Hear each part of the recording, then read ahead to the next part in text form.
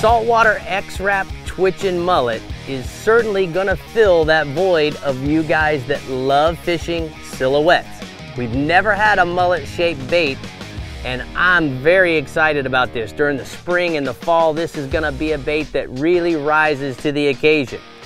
Now it's been built simply to target all inshore species. It has a slow sink rate.